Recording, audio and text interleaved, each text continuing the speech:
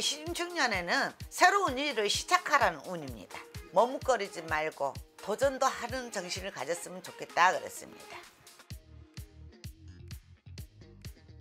안녕하세요. 명잠입니다. 자, 이번 시간에는 네. 이제 개띠, 돼지띠 네네. 운세를 한번 알아볼 건데요. 네네. 개띠 운세 먼저 말씀 부탁드 릴게요. 28살 갑수생으로 말씀을 드리겠습니다. 네. 어, 27, 28에 조금 인연을 만났다, 이성적으로 인연을 만났다 할지라도 조금 금년에는 헤어지라는 운이 들어와 있어요. 아, 네.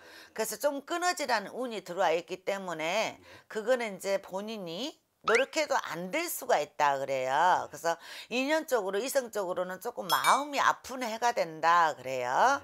그래서 또 마음 아픈 해가 되지만 새로 이제 새로운 인연도 온다 그렇습니다. 새로운 인연도 오기 때문에 가버린 사람 잡지 말고 가버린 사람은 조금 내 인연이 아닌가 싶다 생각하고 올해는 좋은 인연도 한 9월쯤에는 나타난다 그러기 때문에 너무 마음 아프시지 않으셨으면 좋겠습니다. 개띠 분들 음. 그총 운은 좀 어때요?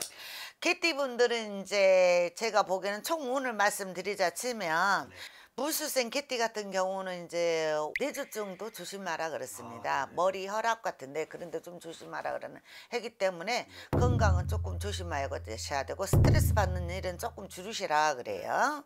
그리고 개띠 같은 경우는 내가 봤을 때는 금전 운이 그렇게 나쁘지는 않다고 했습니다만은 네. 개인 개인 차별이 개인 개인 차 틀리긴 하지요. 하지만은 제가 보기에는 통, 총 개띠 운은 그렇게 나쁘지가 않습니다. 자, 그러면 이제 돼지띠 한번 알아볼까요?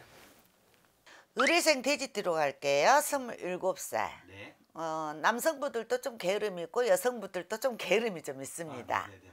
내가 추진했던 것들도 좀 서둘러서 해야 되는 부분이 있는데 네. 머릿속에만 가- 생각하고만 있을 뿐이지 조금 추진력이 부족하다 그래요. 네, 네. 그래서 신축년에는 조금 추진력을 좀 더 빨리 가졌으면 좋겠다 그래서 내가 머릿속에만 두지 말 두지 말고 그거 실천을 했으면 좋겠다 그렇습니다. 그리고 제가 보기에는 이 27살 의뢰생 돼지띠 5월달 같은 경우는 이제 하고 싶은 일들이 굉장히 다양하게 많아요. 네. 근데 딱히 지금 정하지를 못하고 계신 분들도 많습니다. 네. 많지만은 제가 보기에는 그만 머리에서 그만 생각하지만 주저하지 말고 올해는 7월달까지는 결정을 해서 네. 그 틀을 벗어났으면 좋겠다 그래요. 네. 그래서 금년에는 서둘러서 갔으면 좋겠다 그렇습니다.